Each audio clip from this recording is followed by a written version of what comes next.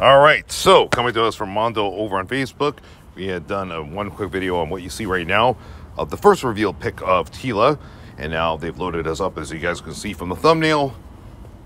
More images of her in action, Teela in action with a snake. That's so cool, man. That is love that look. That is such a classic, iconic look for Teela. Well done, Mondo. Um, pre-orders open up tomorrow. Uh, I'm trying. I'm trying to calculate here. Okay, so they're going Central Time here.